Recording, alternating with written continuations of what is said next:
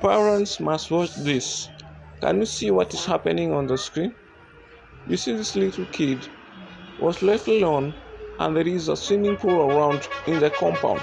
The door entering the swimming pool was wide open and the kid managed to enter there.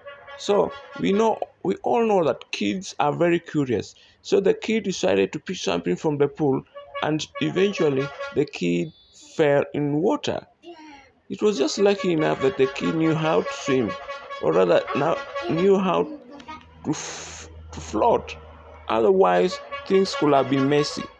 So, as parents, especially those who own water bodies like this on the swimming pools and, and, and all those sorts, make sure that you build your swimming pool with doors and you make sure that those doors are always closed when there is no one there.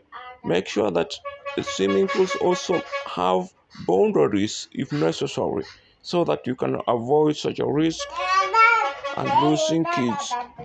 You see, this kid was very lucky enough to knew how to float. Otherwise, things could be different right now. The parent knew, and the kid managed to come out of the water.